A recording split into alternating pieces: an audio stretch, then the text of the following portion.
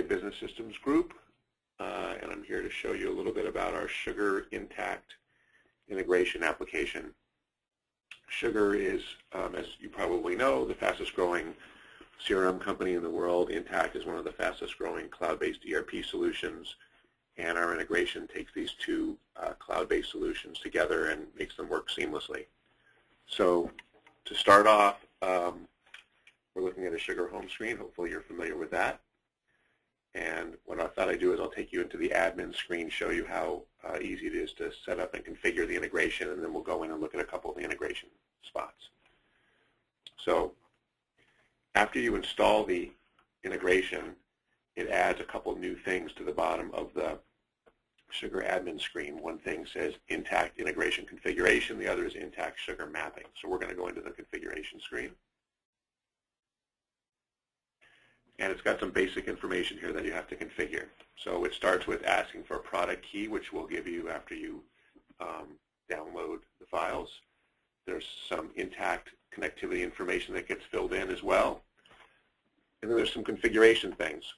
So with regard to sales history, synchronization, you get to indicate whether you want quotes, orders, and invoices all to come in um, from Intacct or just invoices, which is what most of our users do, but you have a choice. In addition, um, the enterprise version of our integration allows you to sync and map multiple Intacct companies to one Sugar instance. So this is where you get to put in the different company names and you know usernames and password. This is from Intacct. And then there's some advanced settings related to uh, some initial imports. And then there's a list of the syncs that you can do. And one of the cool things about our integration is that there's four different ways you can sync data between Sugar and Intacct.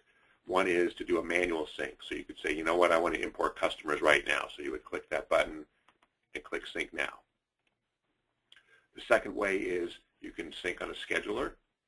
So each one of these can be set up on a scheduler. You could say, I want my customers to sync every night, but I want my sales orders to sync every 10 minutes, etc. And then third and fourth ways that you can sync data are um, you can sync data one record at a time, or in addition, you could actually sync data in a batch mode. So we'll take a look at those. So this is really all there is to setting up and configuring your integration. Pretty straightforward. If we were to go back into uh, our account screen, and this is an accounts list view in Sugar, you'll see it lists the Intacct company, the Intacct customer ID. One of the cool things you can do here is you'll notice there's a new option here on the accounts dropdown called import from Intacct. And if you click that and you do a search, it's reading in all the customers from Intacct. And if you select all of them and then you just click import, what it's going to do now is it's looking at Intacct and you'll notice it says updated 20, created 0. That means no new customers were created, but 20 uh, accounts in Sugar were updated with the latest name and address information. And it's really that simple if you wanted to do sort of a manual batch update of data. If we wanted to go into an individual customer in Sugar, we'll bring up Sally Beauty Supply. And you can see all kinds of information about Sally, you know, the address, um, email, phone, etc. In addition, there's some Intacct specific data here. There's the Intacct company they go to, the customer ID in Intacct, and the outstanding balance in Intacct. And this is all updated, you know, as I said, every night if you go on, um, if you sync on a schedule or that kind of thing. In addition, there's sales history that comes in from Intacct, and this lists all the invoices. And if you recall when we did our configuration, uh, we said we only wanted invoices to come in. So this lists all the invoices, got uh, an invoice number from Intacct, the status, the date created, the date due, the total invoice, and the total amount paid against the invoice. So we can see the first one is paid in full, the last two are not. If we drill down into an invoice, you get more detail. So down here you can see the line items. First line item has a quantity of 20 for $48. The second one has a quantity of 1 for $12, etc. You can see the sales tax, the freight, and then the total amount of the invoice. And so that's the cool part about um, the integration is it brings in all this data, and again, it's done on a scheduler. It's updated every night, so your salespeople have access to seeing, detailed invoice history under each account. And there's more data available as well. This is just sort of the standard uh, view of the account. Um, the next thing to take a look at is the product catalog. Product catalog are inventory items. And the product catalog syncs from Intacct as well. And so you'll notice, again, there's uh, an Intacct company ID here because if you're running multiple companies, you can have multiple inventories. There's the item number, the description, company, the item type, availability, and the quantity on hand and Intacct. In addition, some pricing information, the cost, list, and price. And naturally, you don't have to have the cost sync if you don't want to. Um, so this stuff is cool. This brings in all this data into Sugar for one, if you want your salespeople to be able to see quantity in hand, on hand. It's got this data here. And then additionally, it makes these items available to enter quotes in Sugar. And so if I were to go enter a quote in Sugar, we'll just go do that now. And let's make a quote for uh, cash drawers May. We can pick our Intacct company we want it to go to. The quote stage is important. It uh, close accepted means it'll automatically go to Intacct the next time the automatic sync runs. And let's say this is valid through uh, the end of May.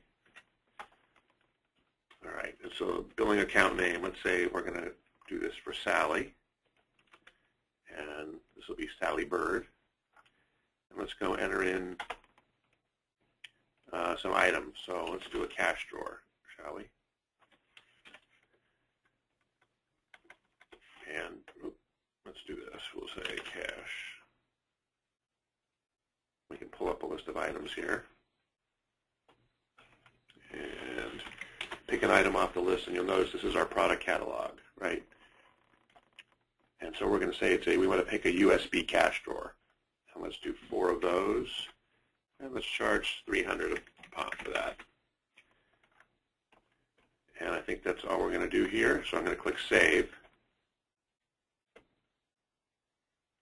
And we have a, we have a quote enter. Now, we can sit and wait for the synchronization to kick in based on uh, the scheduler, or we can just click Send to Intacct and it'll take this order and send it right over to Intacct.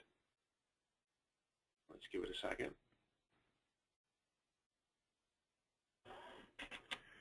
And you'll notice here we get a note back, export sugar quote record to Intacct, success, sales order SO24 created. If I go back now to this record, it has Intacct document ID SO024 waiting there for us. If I were to go into Intacct and Let's go look at our sales orders in Intacct. And there it is, SO24. Just entered in today's date. If I wanted to view it,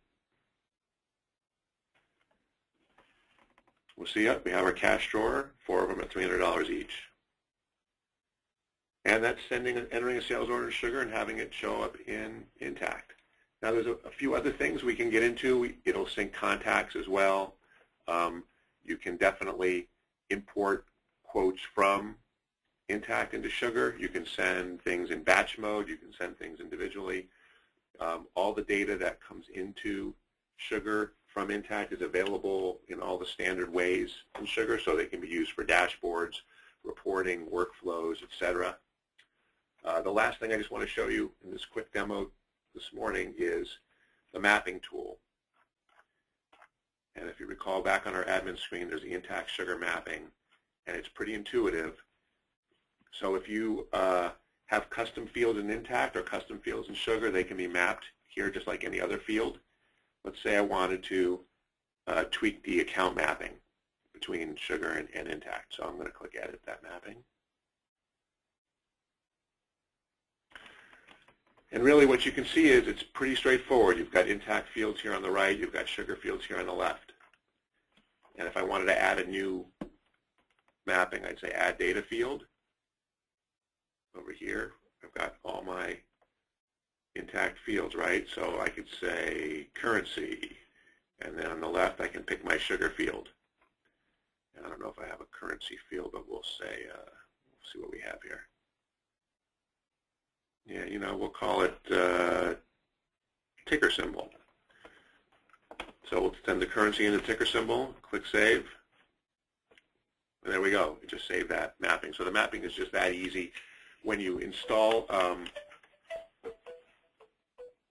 when you install the Sugar Intacct integration, um, it actually installs all these mappings for you, but they're here that you can tweak them and change them and do whatever you need to do.